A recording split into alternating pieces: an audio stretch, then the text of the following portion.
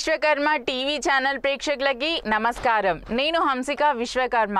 ములుగు జిల్లాలోని మంగపేట మండల కేంద్రంలో ధాన్యం కొనుగోలు కేంద్రం మంగపేట మండలం కోఆర్డినేటర్ బోడ రమణయ్య సమక్షంలో తనిఖీ చేయడం జరిగింది. తనిఖీలో భాగంగా అక్కడ ఉన్నటువంటి రైతులను కలిసి ధాన్యం కొనుగోలు వివరాలను తెలుసుకొనగా అగ్రికల్చర్ వాళ్ళు తేమను చూసి ధాన్యం కొనుగోలు చేయండి. నిర్వాహకులు తెలుపగా కొనుగోలు నిర్వాహకులు చెప్తే నలభై కేజీల బస్తా ధాన్యం కొనుగోలు చేస్తే నలభై ఒక్క కేజీ తూకం వేయగా లారీ ధాన్యం లోడ్ చేసి మిల్లర్లకు పంపిస్తే మిల్లర్లు కేజీ ధాన్యం హై స్పీడ్ ఫ్యాన్ అతి సమయంలో పెడుతున్నారు. గాలి వేగానికి చిన్న చిన్న గులకరాళ్ళు కొట్టుకుపోతాయి. మేము పండించిన వరి గింజ ఎంత మిల్లర్ల హై స్పీడ్ ఫ్యాన్ గాలికి అని రైతులు వాపోతూ ధాన్యాన్ని మిల్లర్లు పంపిస్తే వారి నలభై కేజీ బస్తాకి నాలుగు కేజీల చొప్పున కటింగ్ చేస్తున్నారని కొన్ని చోట్ల లారీకి ఐదు క్వింటాల నుండి పది క్వింటాల వరకు మిల్లర్లు కటింగ్ చేస్తున్నారని చెప్పగా రైతులు సమస్యలు విన్న ములుగు జిల్లా అధ్యక్షులు చింతలపూడి భాస్కర్ రెడ్డి గారు మరియు ములుగు నియోజకవర్గ నాయకులు తాటి కృష్ణ గారు మాట్లాడుతూ రాష్ట్ర ప్రభుత్వం రాష్ట్ర మంత్రులు లాక్డౌన్ నేపథ్యంలో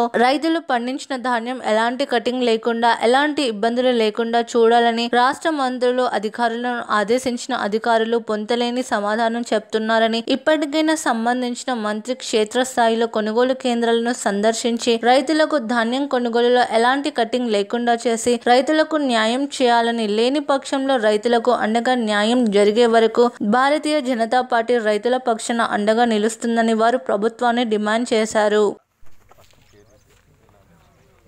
చింతలపూడి భాస్కర్ రెడ్డి ములుగు బీజేపీ జిల్లా అధ్యక్షులు.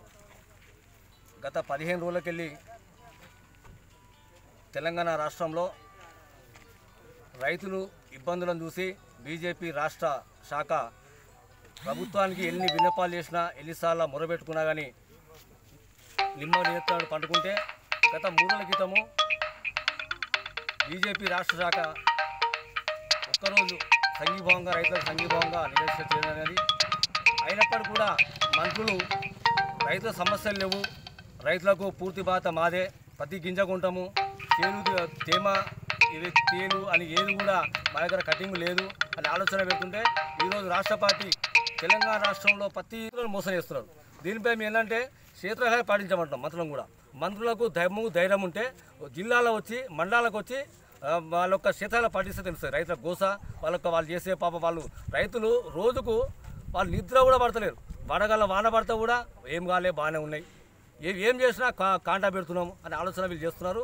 కాబట్టి మేము ఏంటంటే ముఖ్యంగా ఇప్పటికీ మేము చెప్పేది ఏంటంటే ప్రతి గింజ రైతు పండించే ప్రతి గింజ కూడా ఈ ఇక్కడ వెయిట్ ఎంత చేస్తారో ఇక్కడ ఇక్కడ వరకే వాళ్ళ భరోసా అయిపోతుంది ఇక్కడ వాళ్ళ బాధ్యత అయిపోతుంది రైతులకు. ఇక్కడ నుంచి ఏదున్నా ప్రభుత్వమే వాళ్ళు బాధ్యత మీరు చేసుకోవాలి.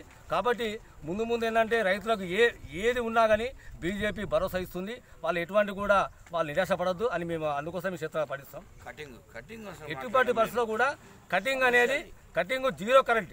ఏ ప్రభుత్వం ఏ సూచన మీద కటింగ్ అవుతుందో ఆ సూచన జీరో పర్సెంట్ కటింగ్ చేయాలి. రైతులను కాపాడాలని మేము కోరుతున్నాం. రోడ్డు కాదు కటింగ్ అయిన రైతులు ఎవరైనా లేకుంటే ఏమో గారితో మాట్లాడితే మాకు సంబంధం లేదు ఈసో గారితో మాట్లాడాలి ఇది మొత్తం